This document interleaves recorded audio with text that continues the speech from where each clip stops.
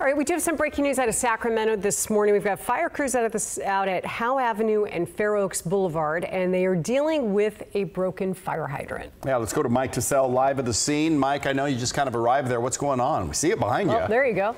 A pretty impressive sight. Yeah, Teo Deirdre, I'm going to step out of the way and let you see exactly what drivers are seeing as they're approaching uh, the intersection of Watt and Fair Oaks here where we are uh, this morning. That water just spouting up into the air. But the bigger issue is those drivers driving past this spout southbound on Howe Avenue. They're driving through accumulating standing water on the roadway. Now, if you're going northbound, as this truck is, uh, you know, the way that the the uh, the slant is there's really no water on the northbound side, but the southbound side of Howe Avenue coming from Fair Oaks Boulevard, uh, if you are headed out this way this morning, uh, you will want to uh, take some precaution, uh, slow down a little bit because uh, this is a spot where we've seen some of the drivers hit that water, and it is pretty jarring because it is accumulating a couple inches deep there. But yeah, a pretty impressive scene here this morning. All of this happening not too long ago, uh, what was it, about 444 this morning, I think, uh, is when, uh,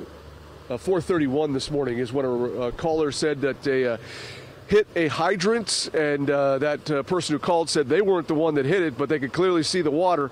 Uh, it's my understanding that fire has been notified and they will be responding, but at this point in time, this is an uncontrolled water spout that continues to shoot up into the air just south of the intersection of uh, Howe Avenue and Fair Oaks. So uh, if you're driving in this area southbound on Howe Avenue, just be ready to take it slow because you will be driving through some accumulating standing water there on the roadway, just like that truck uh, right now, trying to take it slow through there. Uh, an impressive sight indeed this morning. Don't see it very often, but boy, when uh, you see those water mains shoot up, that, that is a pretty impressive sight. Live in Sacramento, Mike TeSelle, KCRA 3 News.